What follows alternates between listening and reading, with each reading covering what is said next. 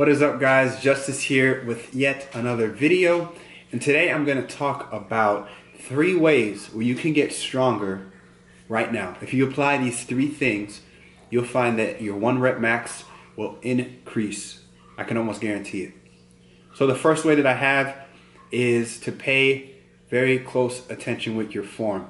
And you might have heard that before, but the reason why I say that is having proper form is more than just doing something that will protect your body in the long run. That's to do with efficiency. You should be looking at proper form as a way to find what is more most efficient for you.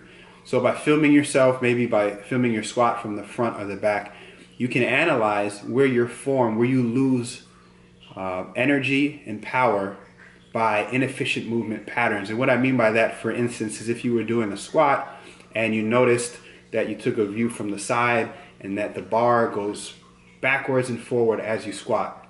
Should be going straight down, right? The shortest distance between two points would be a straight line. So if you have curves, that's extra energy that you're using to move that. You eliminate the curves, your squat becomes more efficient, you will have a stronger squat. Simple, right?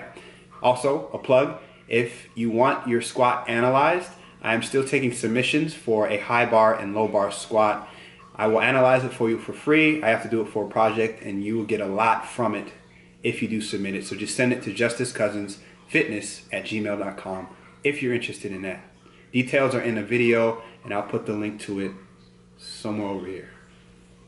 The next thing that will help increase your one rep max, so technically increasing your strength, is to have a proper warm up protocol for when testing your one rep max. When you test your one rep max, it should be something that has been planned maybe even weeks in advance. You want to make sure that you're fresh and you definitely do not want to test your one rep max on the same day after you just did heavy sets or burnout sets or it should be planned. So you should be warming up particularly for that one rep max.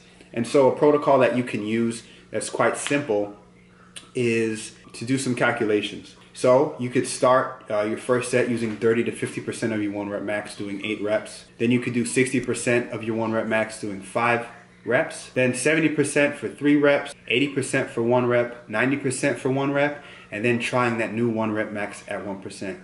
If you don't feel like doing that, just try to pick a light weight, uh, do some reps till you feel uh, nice and warm, and then increase the weight and as you go up just decrease the reps until you're doing it. When you're like 10 20 pounds 30 pounds away from your one rep max or what you think it will be just start doing singles and increase it periodically. You'll get good at doing that after you do it for a while. You'll be able to fill out what weight you should be going more reps on and what weight you should start doing singles on. But you just don't want to burn yourself out. You just want to get your body ready for heavier weights. And as you get higher to that one rep max you want to make the jumps in weight smaller because they're closer to what you can do at your best.